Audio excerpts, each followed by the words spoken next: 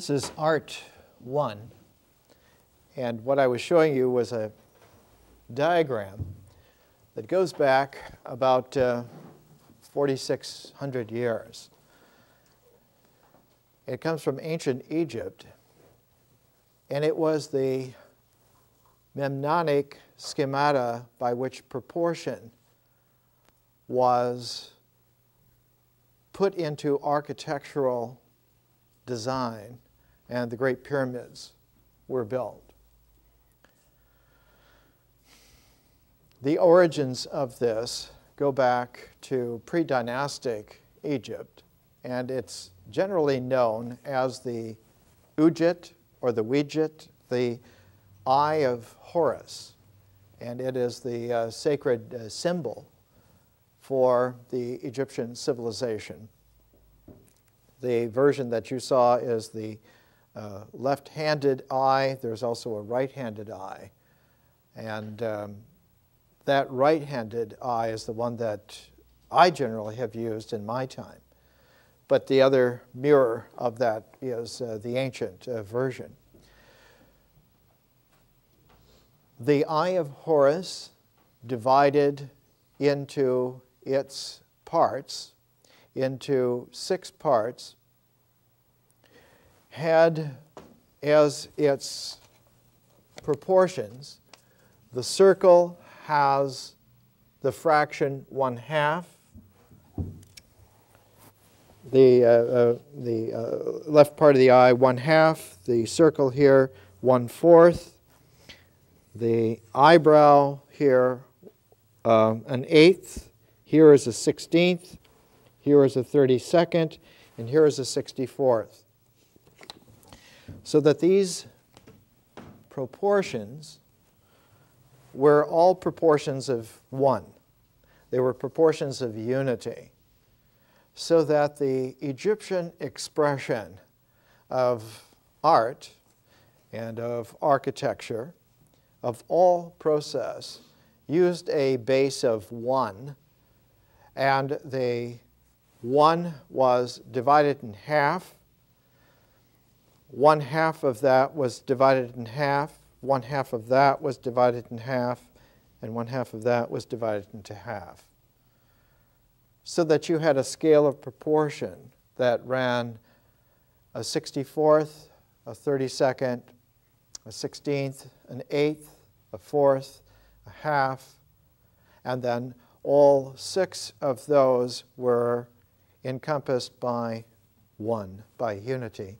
So that you had seven stages, seven phases of proportionate ratioing. What was never stated was that all of this emerges out of a zero context, and that the zero plus the seven gives you a notion of an eight quality. If you look at the mythological origins of the Egyptian religion, there's always a pair that has a progression of three other pairs, making four pairs, making an ogdoad, making an eight. And those eight emerge from Aton, who has no designation whatsoever is a zero designation. But the ancient Egyptians never had zero as a designation. The earliest um, evidence that we possess is a papyrus called the Rhind mathematical papyrus found in the 1850s, and it is the, uh, the copy that we have is from about the 1550s BC, and uh, was used still as a template for architectural proportion at that time. But it does go back to the um, origins of dynastic building in Egypt. Art, even at that time, 5,000 years ago, was the way in which form emerges, not from nature, but from consciousness. So that when you look at the Rhind um, mathematical uh, papyrus. It, uh, it has uh, designations uh, in it that uh, all things uh, can be known from this, including all the secrets. We're concerned at Art 1 today of how form emerges from consciousness and how that complements the way in which form emerges from nature. When form emerges from nature, the form that objectifies we call existential. And it's important to realize that art forms are not existential. Art forms complement the existentiality that emerges from nature. They complement in the sense that both together form a whole, which then we would designate as real. Up until the discovery of the kind of form that emerges from consciousness, existentials were considered real. Existential material forms, the objects of this world, were considered the arbiter of reality, were considered the base. They, in their aggregate, were the unity. But with the discovery that visionary consciousness, like the mystery of nature, is a context out of which emergence is possible, and that what emerges is a form, but that art forms are differential, whereas existential forms are integral, and that they are different in the sense that they may form a complementation, they may together constitute a complementarity, but they also can occur in polarity. They can occur disjunctively in the sense that bringing them closer together, one increases tension, and uh, taking them apart, one decreases tension. And so the entire mysteriousness of art is that it has a polarized integral scale for its existential integral mode, but also has a differential conscious mode that complements it and generally, just as a rule of the thumb, runs the other way. The way in which a polarity may become a larger whole in a complementarity requires that the material world accept the operation of a transform. So that transformation is always involved in consciousness. There can be no consciousness, there is no vision without the operation of a transform. But what art form makes clear is that initial transform is carried to a further transformation in order to have an art form. And to make it uh, easy to talk about the second transformation following the old alchemical language, uh, we'll call the second transformation a distillation. So that art forms are a distillation. That's how they emerge from consciousness. Whereas existential forms are never a distillation. And they are never a transformation. Their emergence is what we would call physical. Physical. And so the Greek term for physics, uh, physis, doesn't mean that it's there, it means that it is emerging, emergingly there. And so the physical form is existential, and has a further quality of integration so that physical form can become psychic form.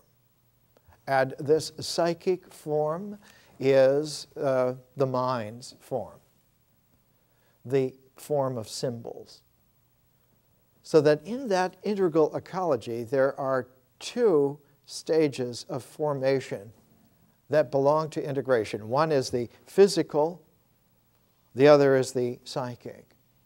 One is the existential world of material, the other is the inner world of symbols, of mental objects. And among mental objects could be uh, designated something like uh, numbers or something like the constituents of geometry. So that physical and psychic objectivities are capable of an alignment of increasing integration, increasing condensation, so that the inner world becomes a greater power of the outer world. Symbols are able to index the material objectivity. And in our education, we've been talking about how the emergence into physical objectivity is actually able to be talked about sensibly as the operations of ritual. So there is such a thing as ritual form, and there is such a thing allied to it as symbolic form, and that ritual and symbol work together. They can be aligned together in a movement of integration. And that this movement of integration, this ecology of the integral, the way in which the integral operator increases its effectiveness, that basic motion has a, time element to it. And we talked about this at the beginning of last year already, that nature is mysterious. Nature is not the physical. Nature is not the existential. Nature is the sea of change out of which the existentials come, out of which they emerge. That context. So that nature is always mysterious, and that nature can be talked about only in a kind of a sacred reverence for its zero quality, in that it is a full zero, a full emptiness that allows for one to emerge. And as we talked about last year in our education, one always emerges whole. There's never partial existence. There's always, here it is. It exists. So that the emergence of one, it always births whole. It births in oneness. So that all existentially sustaining phenomena share a common denominator of oneness, of unity.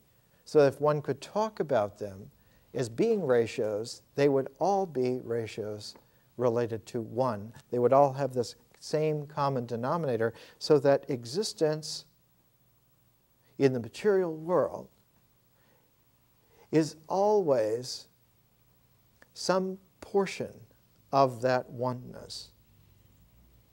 And that was considered as the arbiter, as the basis of being real, until a self reflective consciousness discovered that there is another kind of form. Not just the difference of inner form and outer form, of physical and psychic, but that somehow the psychic form takes a transformation and comes out with a new capacity, and that new capacity, differentiation, is able to engender a completely new kind of form, a third form. Whereas the first two are integral, the third form is differential.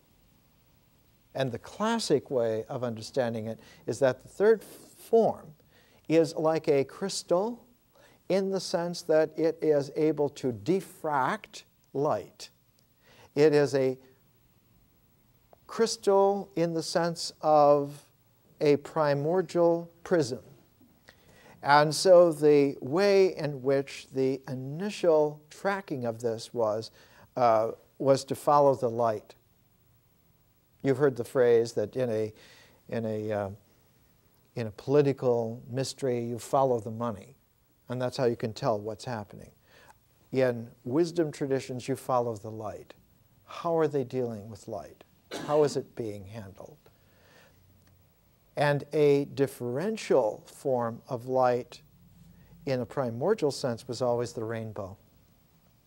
The rainbow was a diffracted spectrum, and that diffracted spectrum then had a very special lesson to show, a very special lesson for um, antiquity.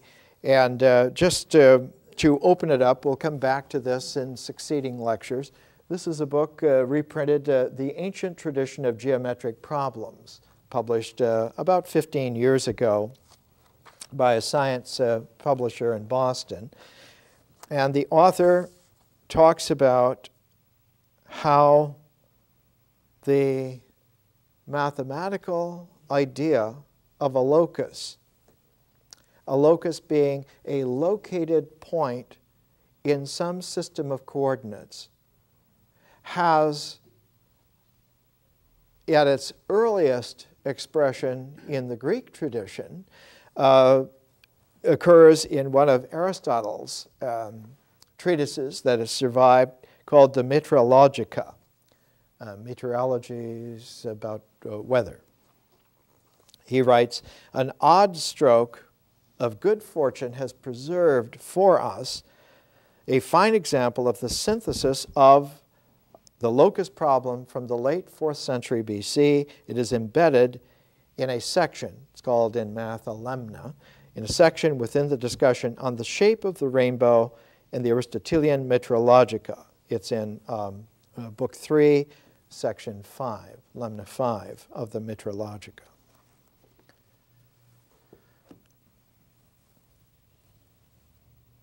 Before that little point occurs in Aristotle's discussion, and he doesn't go further into it because Aristotle was not really um, fully capable of explicating uh, the rest of that discussion because the rest of that discussion belonged to uh, the Pythagorean community.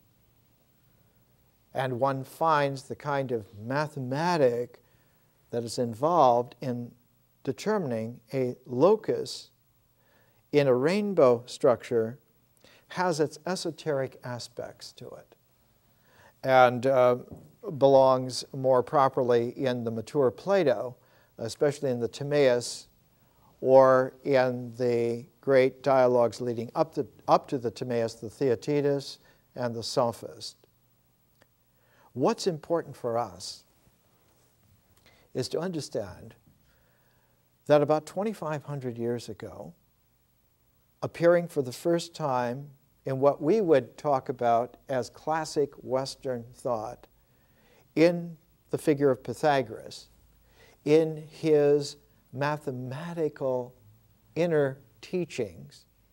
Remember that the Pythagorean was not just a student of knowledge, but was a student of mystical community within which a certain transformation of knowledge occurred.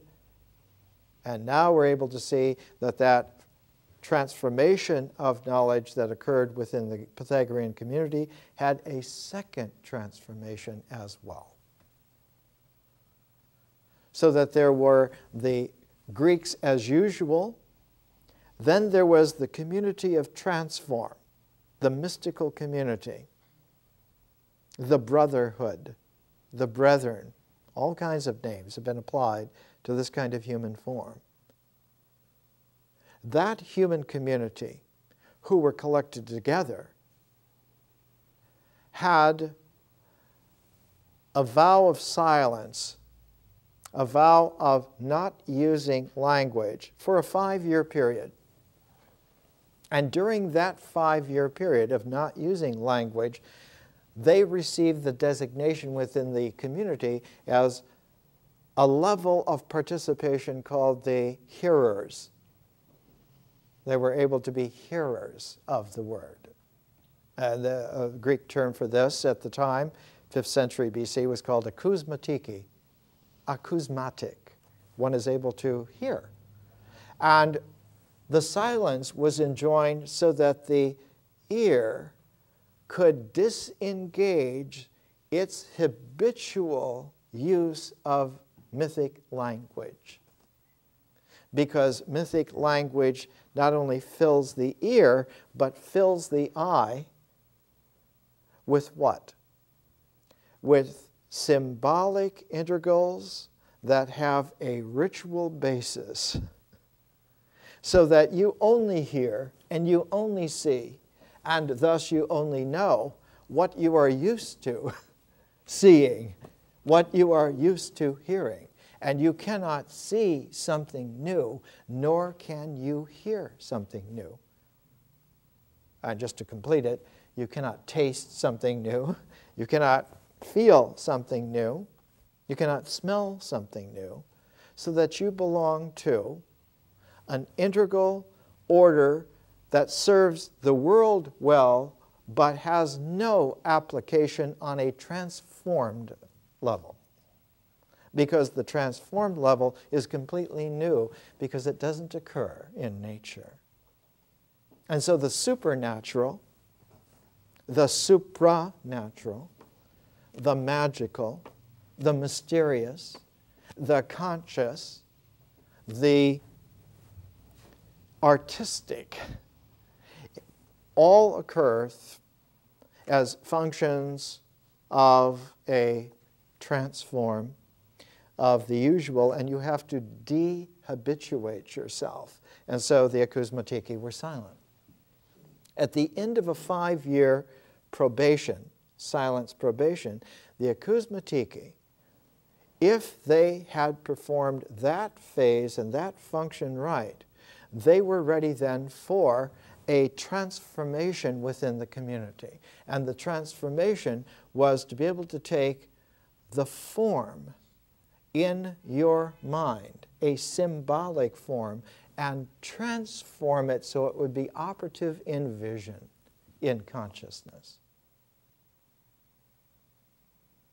And if you were not able to make a symbol operative visionarily in consciousness, it meant that you just had not completed the uh, silent probation and you were not admitted to the inner circle. The inner circle, even the phrase, the inner circle. The inner circle comes down to us for 2,500 years. The community is a circle. And within that community, within that circle, there is a delimiting of the general world so that the circle of the community is able to function together and that that functioning together has a further purpose from just being in the circle, the further purpose being able to get to the center of the circle. And so that the transform was to go from the topographical area of the circle to the center of the circle.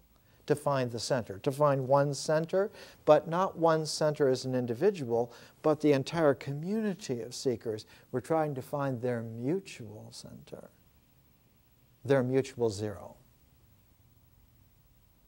Because it was only through that zero center point that a transform could work. You find it in the architecture of something as massive and as basic and simple as Dante's Divine Comedy. There's no way to get out of hell. There's no way to exit the inferno once you're in it, except by one passage and one passage only.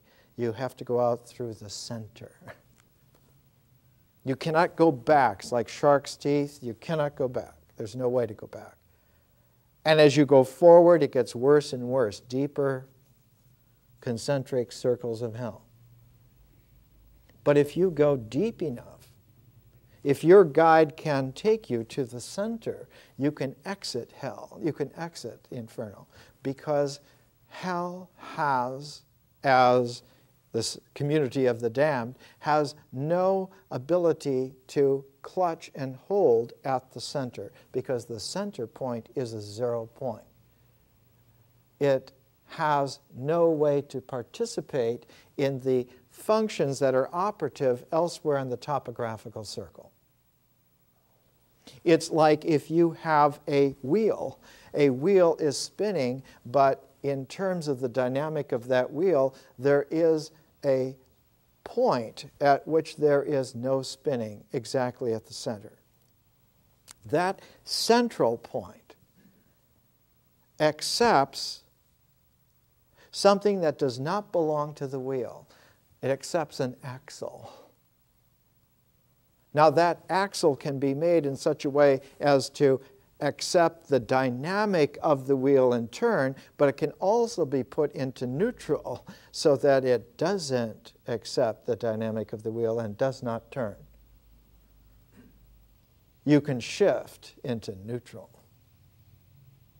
And the dynamic of the wheel, it doesn't matter how horrific it is, or how wonderful it is, or how powerful it is, when you're shifted into exact neutral, it has no effect whatsoever. It is at that shift into neutral point at the center that transformation can happen. You can transform. So that the Pythagorean inner community were called the Mathematiki. And they occupied a very special locus within the community. They occupied mutually together, they constituted in their special aggregate the center of the community. They were the center. So that the transform could work through them and it's a very uh, curious thing because in the development of mathematics a couple of hundred years ago, there was a British mathematician named uh, Hamilton. And in uh, calculus and higher uh, mathematics, you run across Hamiltonian space, where instead of considering a point as just one point, a point can be an infinite number of little points that together constitute that point. Hamiltonian space is a differential space, not an integral space so that the whole notion of oneness can be disengaged from the point. There is such a thing as training the mind to become so concentrated, so accurate, so specific that it sees that the point is not just one, but that the point also is able to be zero.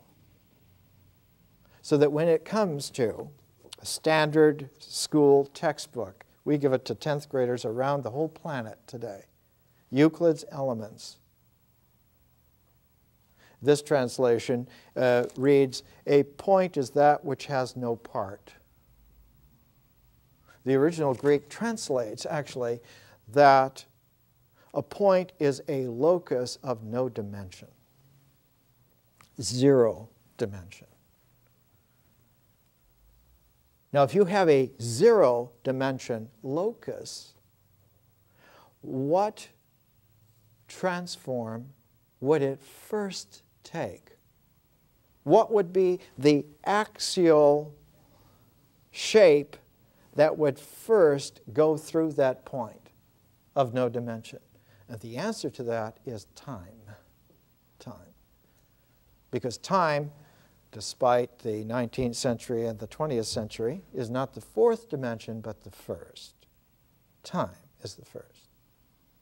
So that when time as a first dimension penetrates through a locus of no dimension, it generates a line. We call it today, colloquially, a timeline. And the timeline is the first one dimensional shape in the universe. And so a timeline has a curious kind of quality. As the point of no dimension allows a movement through it, all this is very transparent, very invisible, very mysterious. If a locus of no dimension allows for a one dimension moving through it, as long as it moves in an axial way, it generates a timeline, and that timeline blossoms spontaneously with three dimensions of space, so that space blossoms out of time almost instantly. You would be very hard pressed to calibrate time. I think you can get down now below nanosecond and picosecond but there's still the sense that almost instantly following, say, a picosecond, that you have spatiality. As soon as you have space, you have mass. Yet we can grind fine enough in consciousness now, in conscious science, to see that there are instances of no mass occurrences um, neutrinos have such uh, skimpy mass, such ghostly particles, that though it's a blizzard of neutrinos, billions and billions and billions, as Carl Sagan used to say, on every little fingernail, and yet they don't occur as far as the world is concerned, nor as far as the integral mind is concerned. They only begin to occur in the mysterious form of art, and they're only detectable consciously in the high Dharma realms of science. But nevertheless, they do exist. But not exist as existentials, they exist as the snow of differential form called the cosmos. They do not emerge from the mystery of nature. They are already the mystery of nature. So that there is a quality where particality flows back into its energy and that the energy flows back into its zeroness and that that condensation cannot be accomplished integrally. The only way that it accomplishes itself is to turn itself around and occur differentially. So that no matter how fast your hand can move, the mind is much faster. But no matter how fast your mind moves, insight is that much faster. And no matter how fast insight moves, from the eye of Horus realm, reality has already occurred, even before insight could begin. Thus, art has a very peculiar quality of discovery for us. Art forms, always and all the time, everywhere, present to us all the mysteries of nature, going through all the realms of ritual emergence into the development of feeling toned experience and the development of mythic language with its interiorization to symbols and the mind, and that transform into consciousness and that distillation into art. All of that is presented all at once, all the time. So we're trying in this education to be like, we're trying to be like uh, nuclear physicists, like those physicists who use a bubble chamber because they can't see fast enough with their physical eye, nor can they think fast enough with their mental acumen, no matter how sophisticated.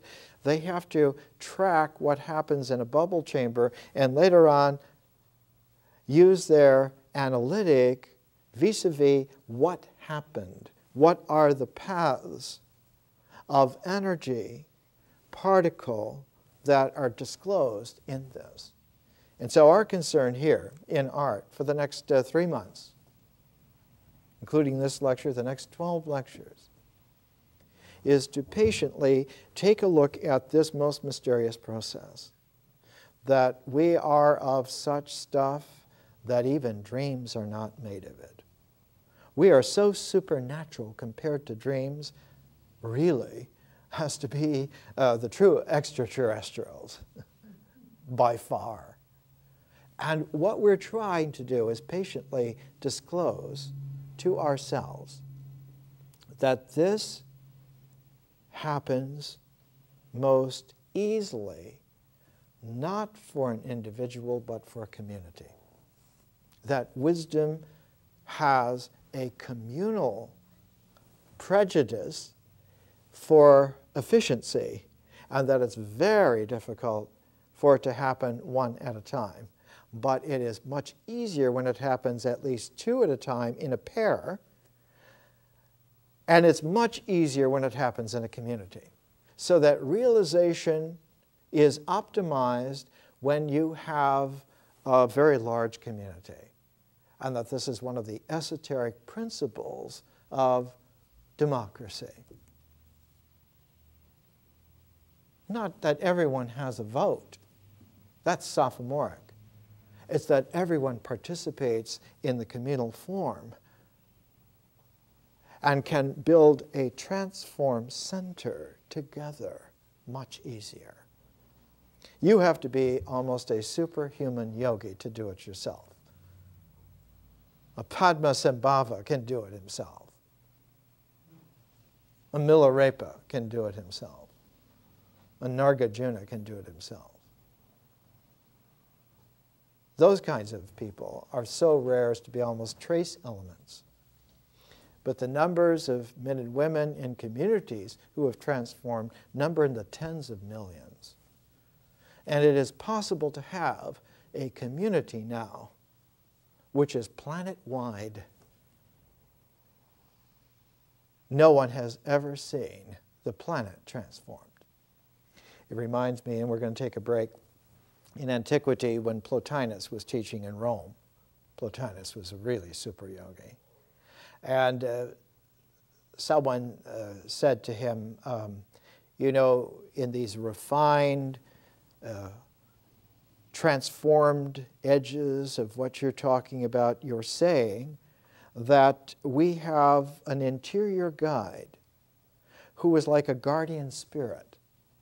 Or sometimes the Greek is translated as a tutorial spirit.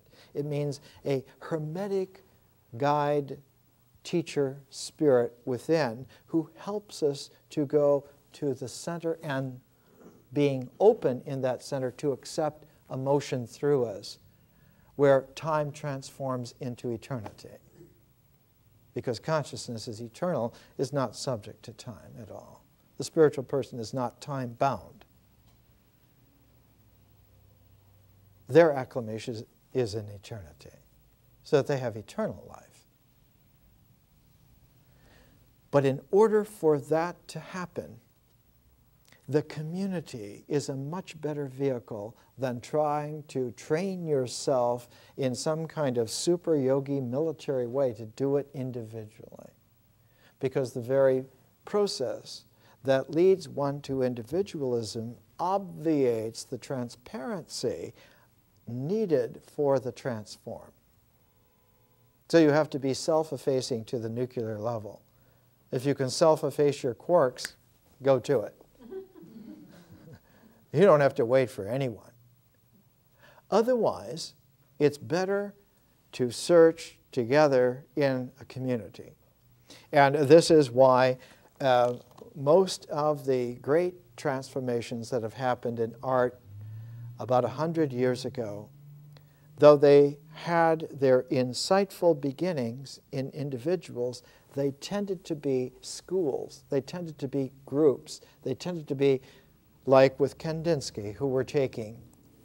We're taking Kandinsky and uh, Rembrandt as our beginning a pair of texts for art, where I was using pairs of books. We're taking a look at the way in which Kandinsky, born in 1866, in, trained in Moscow to be a lawyer, went to an art exhibit in 1895, and displayed on the wall was one of Monet's paintings called Haystacks. It's a, one of a series of six paintings called Haystacks. The Getty has a Monet haystack painting. You can go and see it here in Los Angeles. Uh, Kandinsky, the lawyer, looked at it and he was transformed. He was transfixed by the work of art which reached out to him and he was unprepared for the fact that something in himself reached out and met that work of art and that that axis of transform emerged out of him in some deep way and out of the work of art in some deep way and formed an axis of consciousness and discovered that as he moved along that axis of conscious relationality between himself and the work of art, that that electric movement along the axis lengthwise produced something else that was correlative. It produced a magnetic field circulating around the axis so that he got together an electromagnetic contact with a differential form that pulled out of himself his differential form of person. Let's take a break and we'll come back. And so Plotinus was teaching in Rome in his own house because that was the ancient Hermetic tradition. You always taught out of where you lived so everyone could see this is how you are. And someone said, now the tutorial spirit, the guardian spirit, you say is a guide for us. And that, that tutorial spirit, that guardian spirit, is always one level above where we are. And so as we mature and uh, the guardian spirit brings us up to that level, the guardian spirit then goes to a higher level. And so this ladder of ascent is always, we're being guided in the sense of following a path which is uh, ascendant, like that, and that there are a finite number of levels that one can come up. And the tradition was that uh, there are always uh, seven levels that one can come up. And as one gets then to the sixth level, then your guardian spirit is on the seventh level. And you come to that great maturity uh, where you come to the seventh level, and then your guardian spirit is where? And the question was, where, where does the guardian spirit go? Do you join the guardian spirit? And the reply was uh, a little bit curious because um, it has to do with the way in which musical scales developed in the West. If you go through the musical scales do, re, mi, fa, sol, la, ti, do, the eighth note in that scale is a repetition of the first note in that scale on one level higher. So that the scale, the calibration, is not so much in a line, but is a line with a zigzag at the end that takes you to a higher level. So that the idea of, of a scale is not just that it measures like on a straight line, but that its measuring accumulates and ends with a step of ascent. You go, you're ready for the next. So that the scales, when put together, overlap. The last do of that octave is the first do of this octave, so that they overlap so that they do not join, but that they overlap. And so in geometry, one of the basic principles that came down reductively as identity was actually congruent. That these two geometric shapes are the same when they are congruent. When you put this triangle on top of this triangle, they occupy the same triangularity. So that it's reductive to think that this triangle equals that triangle. They're not identical. That's a misnomer. That's a mental ideology that's projected that belongs to centuries later. There's no such thing as that. That was never the understanding. The same way, when Plotinus came to express how the guardian spirit then occupies the entirety of those seven in a step higher, that one moves from a guardian spirit of this world to a divine spirit of a higher order. And so uh, they, um, there happened to be a, um, a, magician from Alexandria. Um, Plotinus was born in um, Egypt and uh, was raised in uh, Alexandria and studied in Alexandria. And so there was this magician, a very good uh, diviner magician in Rome, and he happened to be there when this lecture was being given. And they said, well, this man specializes in manifesting um, the spiritual beings. Uh, can we not uh, manifest uh, your guardian angel, your guardian spirit, your tutorial spirit? and so Plotinus, because he was always a, a, teacher, was willing to include himself all the time. So they looked to try to find um, a sacred space in Rome.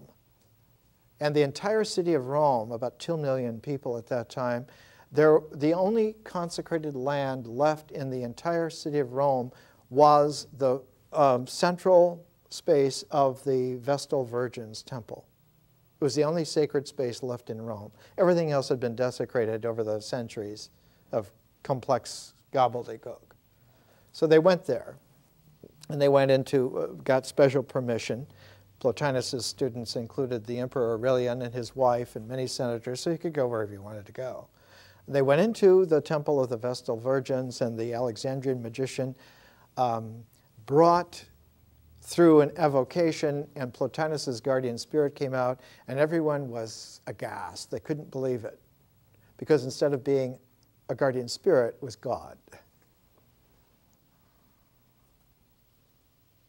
And Plotinus let it stand as the recognition that you're not always making steps. There is such a thing as arriving.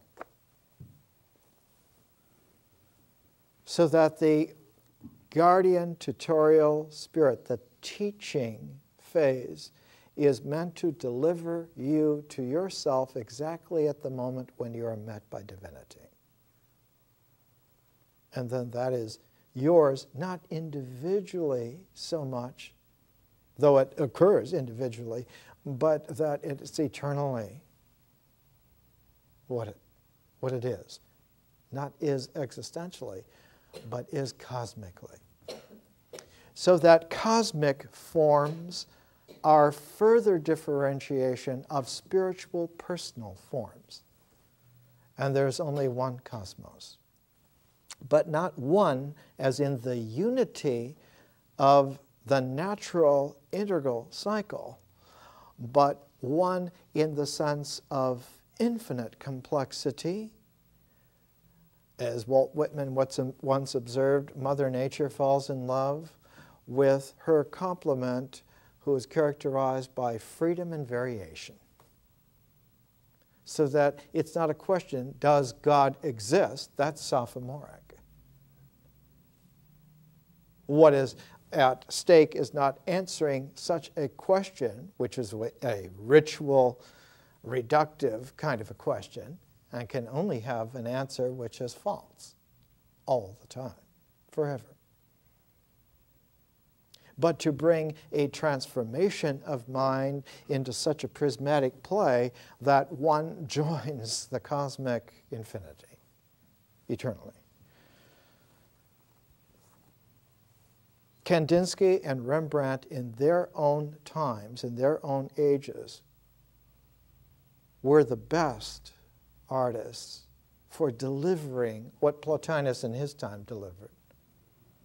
And we'll come to Rembrandt um, next week more, but I want to concentrate on Kandinsky and not on Kandinsky's theories of art or on his works of art, but initially with a poem because the seeing through is related not associatively but transformedly in a correspondence with hearing.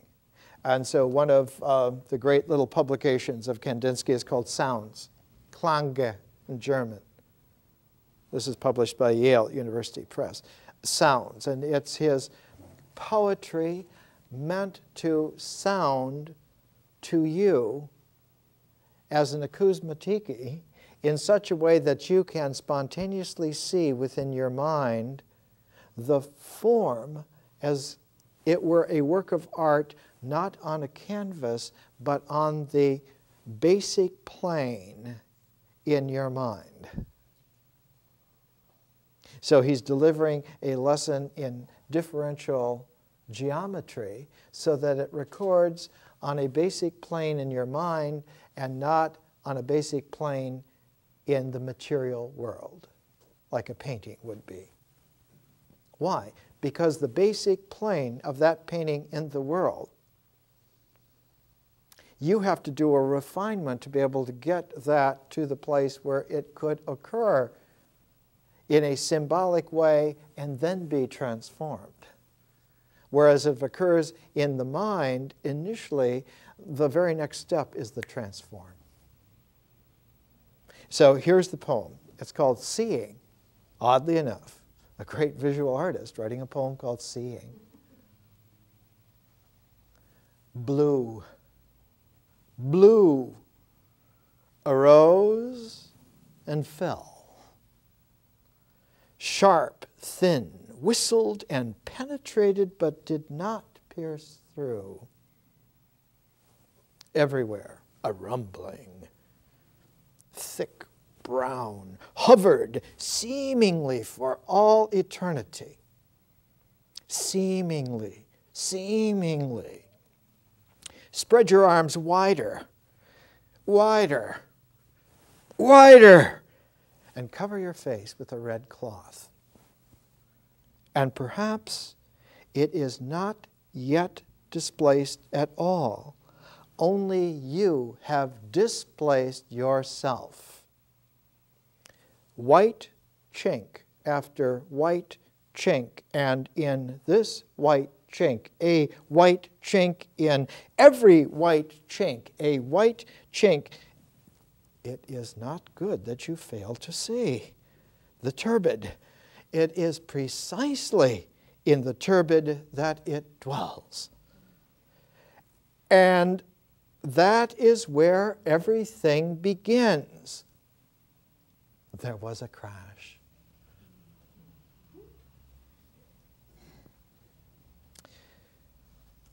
This uh, poem appeared in the Dada Review, 1916.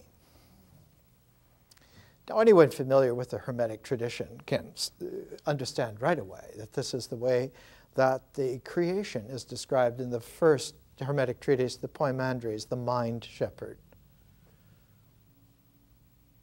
The first thing that happens is out of the mysteriousness comes a falling smokiness that in falling gains incandescence and bursts into light.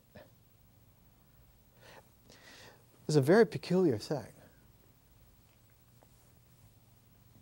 If time is a one dimensional movement, an axial movement, and is the first dimension, when it blossoms into the three dimensions of space, one way in which to geometrize that is that an axial line generates a triangle. And that triangle can occur on a plane, and that plane is actually a surface which can be run through that line. And that that line itself is not a line so much as the movement of a point. And so Kandinsky, after he wrote concerning the spiritual in art, 1912, 14 years later, by 1926, Kandinsky was teaching at the Bauhaus, and he wrote a sequel to Concerning the Spiritual and Art, and it's called Point and Line to Plane. And this is like the ABCs of the way in which form occurs in natural integrals. And that only by knowing how form occurs in natural integrals can you transform that into art.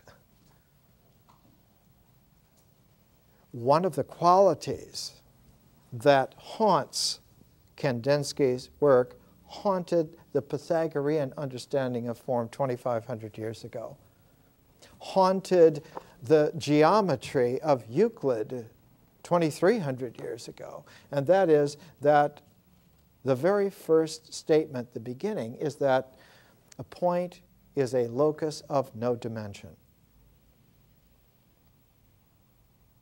And that when a locus of no dimension moves, it generates a line.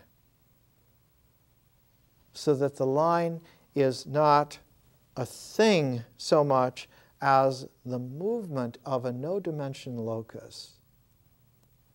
And such a line, when it's moving, has a curious quality. The point of no dimension can now be expressed in a pair of points without losing any of its identity. It's legerdemain on God's scale. That one becomes two because of movement, not because of space, but because of a time function occurring. And that no dimension moving one dimensionally in a straight line, in an alignment, will spontaneously generate a pair. So that though the second statement in Euclid's 10th grade text is a line is breadthless length, the third uh, statement is extremities of a line are points. So we have moved from one to two, but with the proviso that we're wise enough to understand we've not moved from one to two, we've moved from unity to pair without losing a hitch. We have lost nothing. What we have gained is a range of expressivity that allows for the development of the entire ecology of integration. Because now that we have one and two, we can go one, two, three, dot, dot, dot, infinity. We can extend a line of sequence indefinitely. And in fact, uh, one of the great uh, popular physicists of the middle of the 20th century, George Gamow, wrote a book called 1, 2, 3, ellipsis, infinity. 1, 2, 3, dot, dot, dot, infinity wonderful George Gamow changed my whole conception of physicist. I was uh, 19, I was the head porter at Sequoia National Park, and George Gamow came up in a red convertible with a young blonde and matching uh, sharkskin uh, luggage. And uh, I thought physicists were supposed to be dowdy, and George Gamow woke me up. One, two, three, infinity. It means then that sequence can occur without existentiality if it is left in pure time. With the proviso that the pure time have an alignment. Because if the line, if the timeline curves or moves in any other way, it tends to devolve. As soon as it leaves the straight and narrow, it tends to devolve. And so that one of the mathematical definitions of a knot is a one-dimensional self-avoiding complication in three-dimensional space. So that curiously, one already has an ethic without having any rules whatsoever. you can have knots or you can have the straight and narrow. And if you have the straight and narrow, if you keep that alignment, it will act as if it were single pointed. that the paired points of the line being aligned can also be a single point without any effort at all. And if you find the center of any circle, that point of no dimension, which is the center, will accept any aligned movement through it as if it were the axial movement of the center itself. So that the openness of the point of no dimension will accept the dynamic of the axial movement and move itself without any kind of complication that you've got something that's hitting something or something that's pushing something. It's just openness itself accepting a dynamic so that openness becomes the dynamic itself. And when openness is the dynamic itself, the timeline is eternal. It doesn't register as a decay because the decay factor the complication factor, the knot factor, is when the pairedness is conceived as a polarity. And only polarized particles can produce what we call matter, the material world. If it's aligned, if its centeredness is alignable, it can integrate to pure no-dimensional pointedness and convey through its openness any alignment, any dynamic. And this is a very great mystery. Because, as Kandinsky points out on page 60 of Point and Line to Plane, because Kandinsky thought along these lines, the point of no dimension can carry the transform of openness to the entire circle, whatever the circle is. Circle as a result of condensation. In spiritual terms, there is such a thing as the entire tr community transforming at once together. If they are all related energetically to a common not a locus, because a locus is a term for position in terms of coordinates in a plane, on an integral, sequential, time-bound context.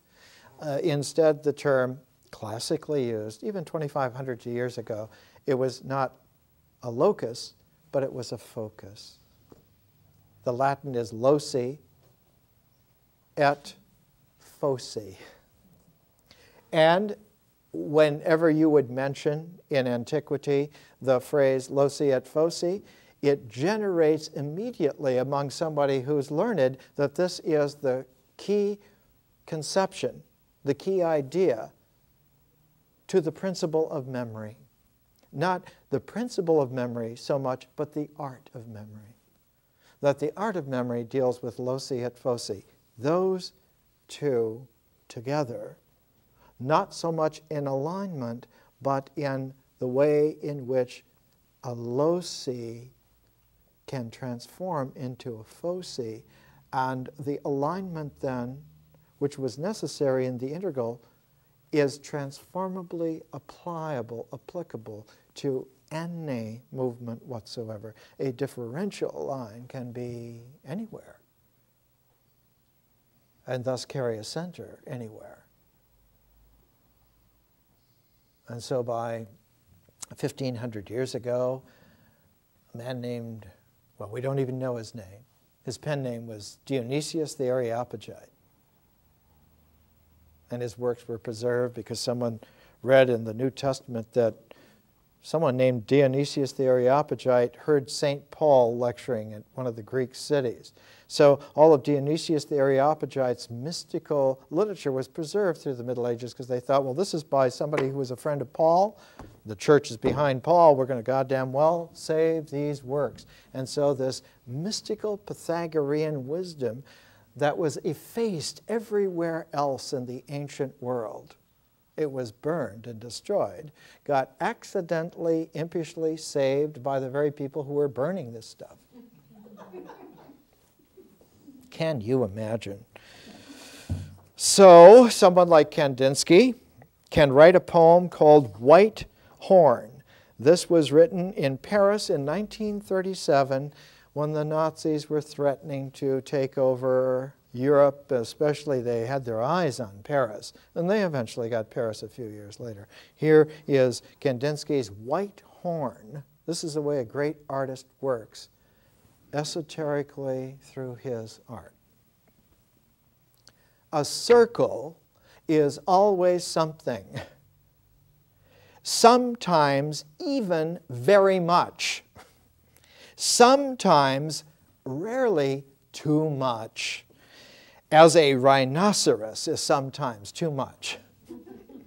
Sometimes it, the circle, sits in compact violet the circle, the white circle, and grows unquestionably smaller, even smaller. The rhinoceros bends its head, its horn, it threatens. The compact violet looks angry.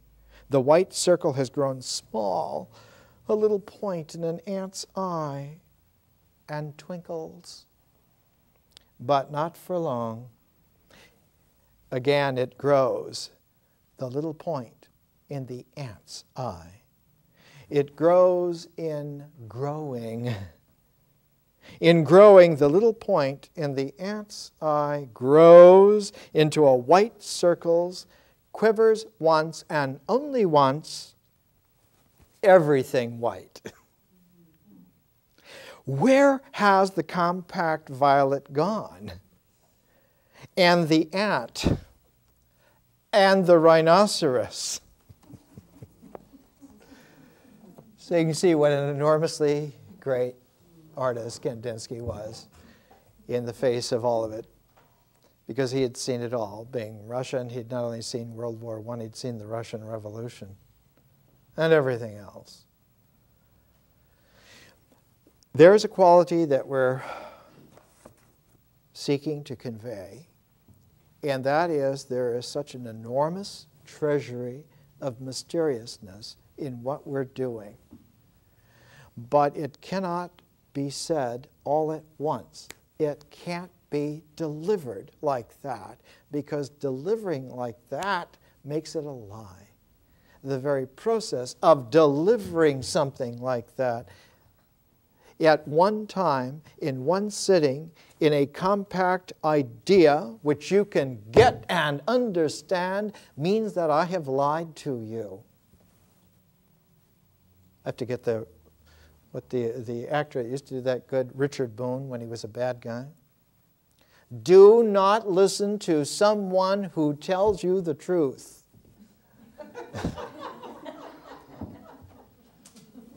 Those damn rhinos. it cannot be delivered because there's no it. There's no delivery that's capable, and you would have to falsify yourself in order to receive it that way.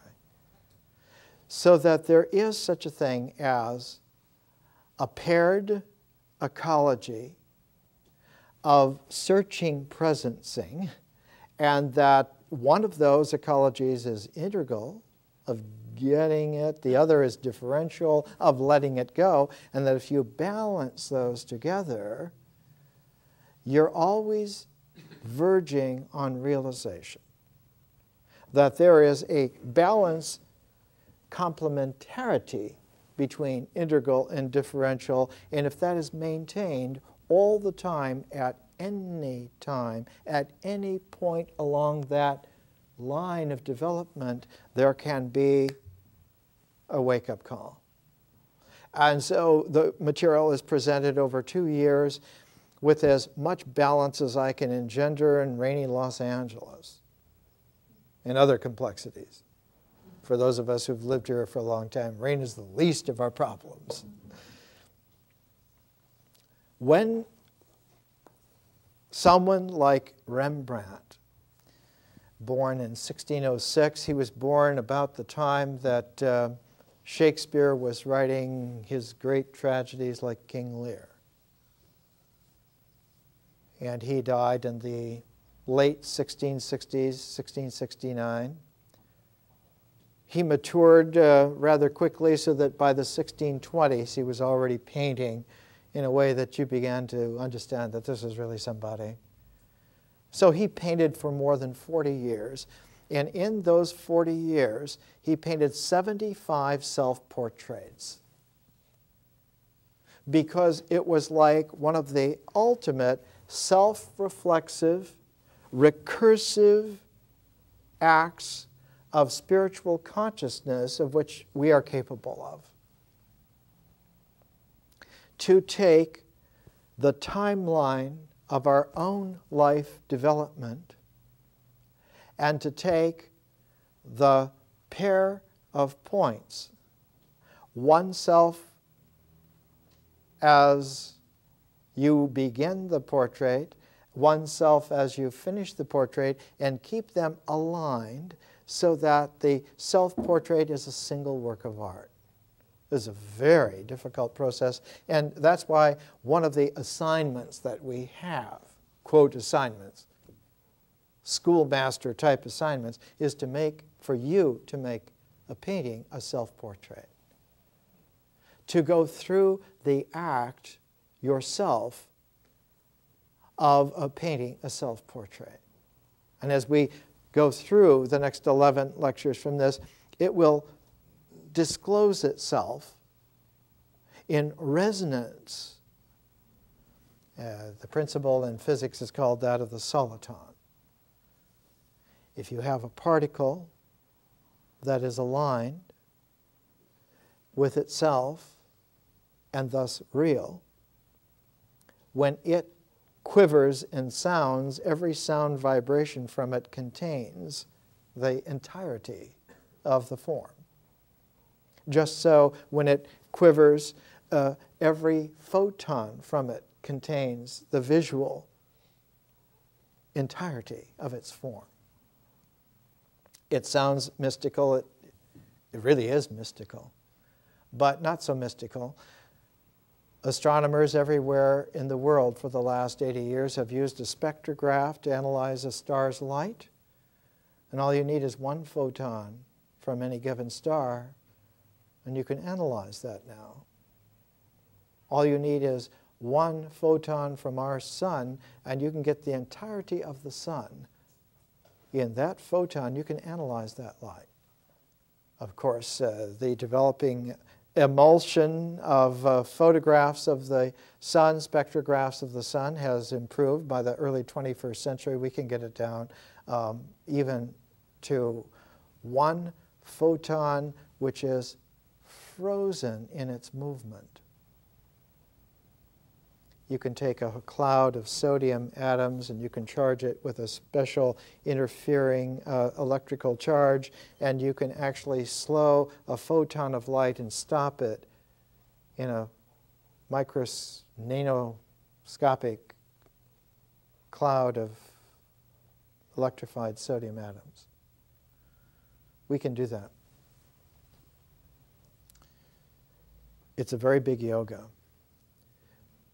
But what's important here is that this ability to take light, to take the basis of seeing, or to take sound, to take any kind of a resonance of something down to its nth particality, and to differentially be able to analyze and bring out the real wholeness from any part goes back to uh, ancient Hermetic antiquity. It's always been the teaching conviction and the basic certainty by which one could have confidence that you could teach.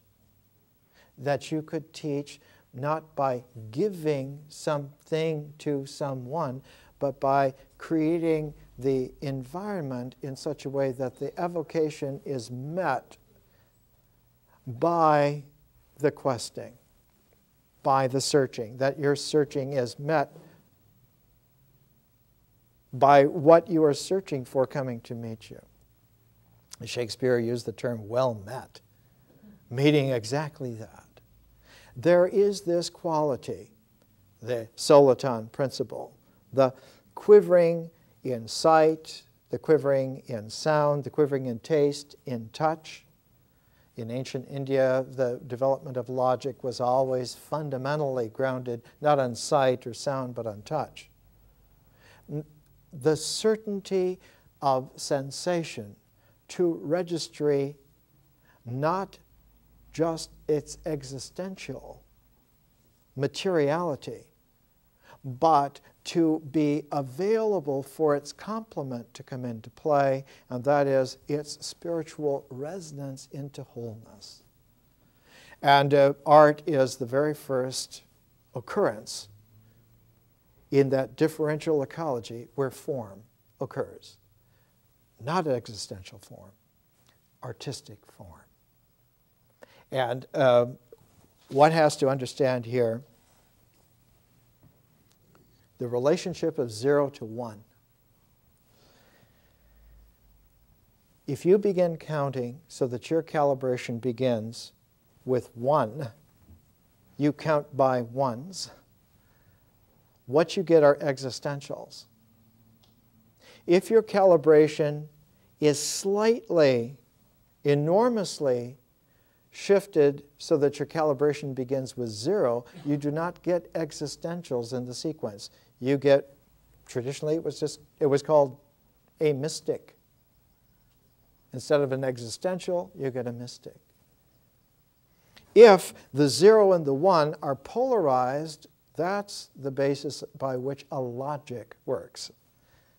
But if the zero and one are in a complementarity, then what is generated out of that is called an aesthetic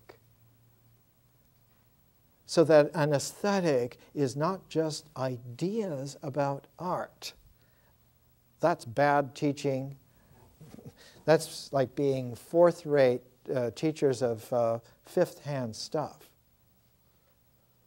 Aesthetics is not about ideas about art at all.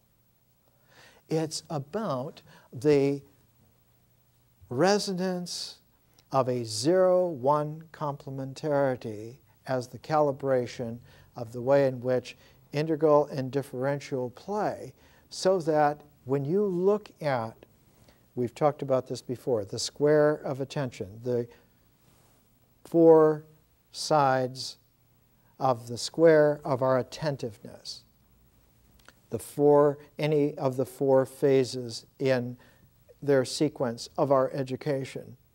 The art square of attention includes art and vision and symbol and myth. What it does not include in its attention is nature and ritual. Because nature and ritual, though they occur, and certainly have been there generatively, they're not a part of the attentiveness in the square of attention, in the big picture, in the framework of the way in which art is appreciable aesthetically. So that the beginning of the square of attention of art is with myth. And myth is a matter of feeling, toned experience gaining a language. And Kandinsky was very careful to show that one can gain a feeling toned language by having operative not words so much, or even shapes so much, or even juxtaposition so much, but that you can do it on the basis of color. And that by limiting yourself to a feeling toned language that aesthetically develops out of color alone, for this, he said, uh, this is abstract art. So that the development of abstract art by Kandinsky is the first one to ever do it he saw that you can take abstractly a single series of elements, and art can have many different elements, but in this abstract painting, what you present is non objective art. And that non objective art, being an art that's not concerned with images, it's much easier for someone artistically to begin to appreciate the conscious transformed aspect of art rather than the symbol mythic aspect of art. Instead of making paintings of Roman gods in a French uh, costume of the 18th century, you make a painting of color relationalities that convey not something about Roman mythic figures, but something about your own spiritual capacities. So that the emphasis, while it includes myth and symbol, has shifted its stance so that the pivot is on the conscious two dimensions, vision and art, rather than on the integral myth and symbol so that you stand on both feet, but you shift your posture so that the emphasis is on the other angle of vision. Instead of the mythic angle, it goes onto the visionary angle. And uh, the emphasis then is not on myths that are generated out of rituals, but on art that generates further into the realms of consciousness. And we'll see that that further realm of consciousness is history. Art is a form that not only emerges out of vision, but is a form that generates what we call history. So that history becomes a real higher order of conscious process differential process. History is a differential process. It's not integral at all. There are no integral forms in history. History is not an integral process. It has nothing to do with nature. It has nothing to do with myth. It has everything to do with vision and with art. And being a higher order of differential process, it has a special form that emerges out of its operative, and that form is the cosmos. It's very complicated when you put it all together.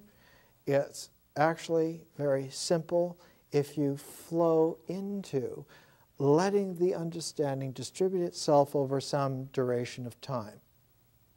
I used to call it the principle of the snowshoe. If you try to step quickly into this, you're just going to sink up to your neck. But with the snowshoe effect of distributed attention, over several months, we'll be able to generate one of those neuronal clouds of sodium particles where we can stop a moving photon of light and take a look at how reality really illuminates. And that it does. More next week.